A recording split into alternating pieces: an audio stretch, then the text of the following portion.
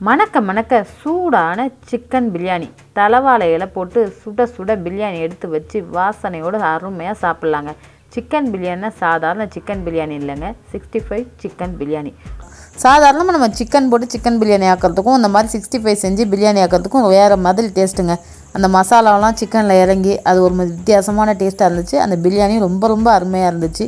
Video skip பண்ணாமல் கடைசி வரையும் பாருங்கள் நிறைய டிப்ஸ் உள்ளே இருக்குது வாங்க இப்போ பிரியாணி எப்படி செய்கிறதுன்னு பார்க்கலாம்.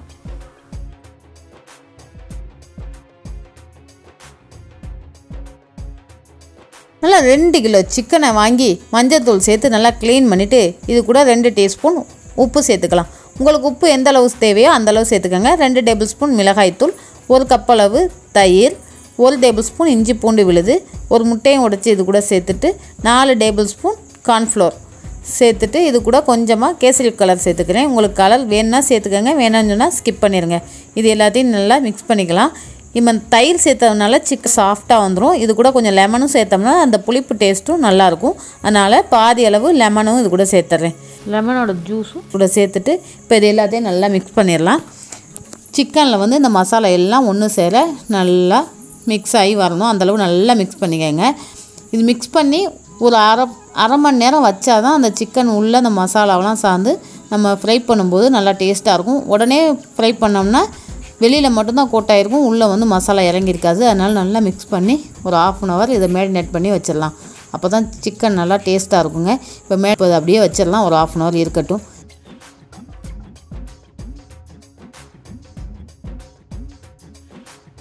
இப்போது பிரியாணிக்கு அரை கிலோ கிலோ பெரிய வெங்காயத்தை தோலை நீக்கி கழுவி க்ளீன் பண்ணி வச்சுருக்கேன். இதை பொடியாக நறுக்கிக்கலாம். நீல வாக்கில் இந்த மாதிரி நறுக்கி இதையும் ஒரு பவுலில் எடுத்து வச்சுட்டு இது கூட தக்காளி பழங்களையும் கட் பண்ணி எடுத்துக்கலாம். அஞ்சு பழம் எடுத்திருக்கேன். நல்ல பழுத்த பழமாக எடுத்துக்கோங்க. அப்போ தான் அதோட கலரே நல்லாயிருக்கும் தக்காளி பழத்தோட கலரே பிரியாணிக்கு நல்லா கலர் கொடுக்கும். இப்போ அஞ்சு பழத்தை இந்த மாதிரி ஸ்லைஸாக கட் பண்ணி இதையும் எடுத்து வச்சிடுறேன். ஒரு கப் அளவு மல்லி இலைகள் ஒரு கப் அளவு புதினா ஐந்தாறு பச்சை மிளகாய் எல்லாம் கட் பண்ணி ரெடியாக இருக்குது இப்போ அடுப்பை பற்ற வச்சு நான் விறகடுப்பில் தான் இது எல்லாமே செய்ய போகிறேன். அடுப்பை பற்ற வச்சு இதை விறகு வச்சிடலாம். இது நல்லா மேலே ஒரு கடாய் வச்சிடலாம். கடாயை வச்சுட்டு ஆயில் ஊற்றிடலாம். ஆயில் ஊற்றி இது நல்லா ஹீட் ஆனதுக்கப்புறம் நம்ம அரை மணி நேரம் நல்லா மசாலாலாம் இறங்கின சிக்கனை ஒன்று ஒன்றா எடுத்து போட்டுடலாம். ஃபஸ்ட்டு லெக் பீஸை தாங்க போடணும். அது வேக கொஞ்சம் லேட் ஆகும். அதனால் லெக் பீஸை போட்டுட்டு சிக்கன் பீஸையும் போட்டுடலாம். நல்லா ரெண்டு பக்கமும் நல்லா திருப்பி திருப்பி விட்டு நல்லா வேக வச்சுருங்க. இப்போ இதெல்லாம் நல்லா வெந்து மொறு மொறுப்பாக வந்ததுக்கப்புறம் ஆயிலை வடித்து ஒரு பிளேட்டில் மாற்றி வச்சிடலாம்.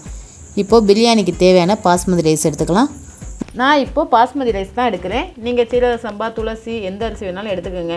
நான் ஒன்றரை கிலோ அரிசி தான் எடுத்திருக்கேன். நம்ம துளசி அரிசி சீரக சம்பா அரிசி சேர்த்தோம்னா அதுக்கு ஒரு படிக்கு ரெண்டு படி தண்ணி. சரி சமமாக ஒரு படி அரிசிக்கு ரெண்டு படி தண்ணி வைக்கணும். இதே பாஸ்மதி ரைஸ்னால் ஒரு படிக்கு ஒன்றரை படி தண்ணி தாங்க வைக்கணும். ரொம்ப கூட வச்சிங்கன்னா அரிசி குழஞ்சிரும். பாஸ்மதி ரைஸ் ரொம்ப சீக்கிரமே வெந்துடும் அதனால் ஒரு படிக்கு ஒன்றரை படி தண்ணி தான் வைக்கணும். இப்போ இதை ஊற வச்சிடலாம். அப்படியே தண்ணியை வடிச்சிட்டு வச்சுருங்க. இப்போ பிரியாணி சட்டியை அடுப்பில் வச்சு இது கூட கூட இரநூத்தம்பது எம்எல்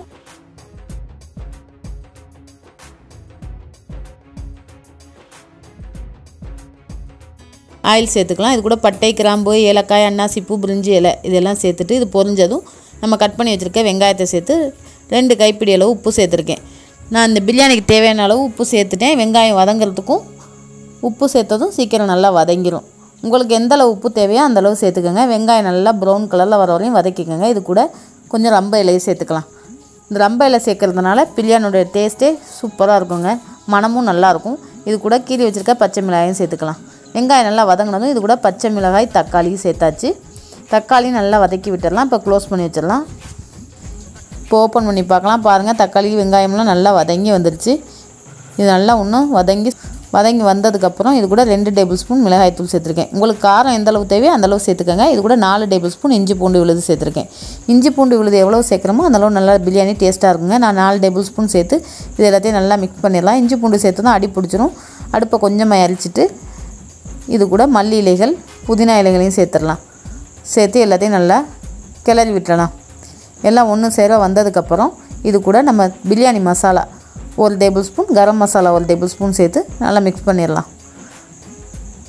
இப்போ இதெல்லாம் நல்லா மிக்ஸ் ஆகி வந்துடுச்சு இப்போது ஒரு கப் அளவு கெட்டியான தயிர் வச்சுருந்தேன் அதையும் இது கூட சேர்த்துடலாம். சேர்த்து இதையும் மிக்ஸ் பண்ணி விட்டுடலாம். அடுப்பை மீடியமாக எரிச்சிக்கோங்க அடி பிடிச்சிடக்கூடாது. இது மீடியமாக எரிச்சிட்டு நல்லா கிளறி விட்டு நம்ம ஃப்ரை பண்ணி வச்சுருக்க சிக்கனையும் இதுக்குள்ளே போட்டுடலாம். சிக்கனை பார்க்கும்போதே வாயில் எச்சில் ஊறுதில் ஆமாங்க ரெண்டு கிலோ சிக்கன் ஃப்ரை பண்ணி வச்சுருந்தேன். அதில் அரை கிலோ காலியாயிருச்சு. ஒன்றரை கிலோ சிக்கனுக்கு ஒன்றரை கிலோ அரிசி தான். ரெண்டும் சரியாக சமமாக போடணுங்க. சிக்கன் கூட மசாலாலாம் மிக்ஸ் ஆகி வந்ததுக்கப்புறம் நம்ம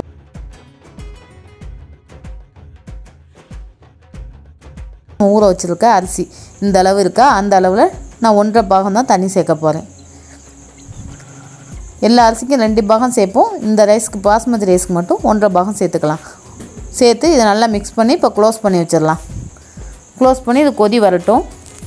இப்போ நல்லா கொதி வந்துருச்சு. பாருங்கள் நல்லா நுரக்கூட்டி கொதி வந்துருச்சு. இப்போ இதை மிக்ஸ் பண்ணி விட்டு நம்ம தண்ணியை எடுத்துட்டு அரிசி வச்சுருந்தோம்னா அந்த அரிசியை இது மேலே கொஞ்சம் கொஞ்சமாக அது மாதிரி தூவி விட்டுடலாம் தூவி விட்டு இதையும் நல்லா மிக்ஸ் பண்ணி விட்டுடலாம் அரிசி அப்படியே கொட்டிட வேண்டாம். உதிரி உதிரியாக இந்த மாதிரி எடுத்து போட்டிங்கன்னா நல்லாயிருக்கும் தண்ணி இல்லாமல் வடித்து எடுத்து போட்டிருக்கேன். வடிச்சிட்டு இதை நல்லா மிக்ஸ் பண்ணி இப்போ க்ளோஸ் பண்ணி வச்சிடலாம். இது கூட ஒரு லெமன் ஜூஸும் இது கூட சேர்த்துடலாம். என்னோட சேர்த்துருக்கேன். அப்போ தான் அரிசி உடையாமல் வரும். சேர்த்து இப்போ மிக்ஸ் பண்ணியாச்சு. தண்ணியெல்லாம் நல்லா சிம்மி ரைஸ் நல்லா உதிரி உதிரியாக வந்துருச்சு. இப்போ க்ளோஸ் பண்ணி மேலே வெயிட்டுக்கு ஒரு பாத்திரத்தில் தண்ணி நிறையா வச்சிடலாம். வச்சுட்டு அடுப்பை இப்போ பிரிச்சிடலாம். அனல் மட்டும் கிடக்கட்டும். விறகெல்லாம் பிரிச்சிருங்க. பிரிச்சுட்டு ஒரு பத்து நிமிஷம் அப்படியே இருக்கட்டும். பத்து நிமிஷத்துக்கு அப்புறம் இப்போ ஓப்பன் பண்ணி பார்க்குறேன். இது இந்த பிரியாணி வந்து பத்து பேர் சாப்பிட்லாங்க.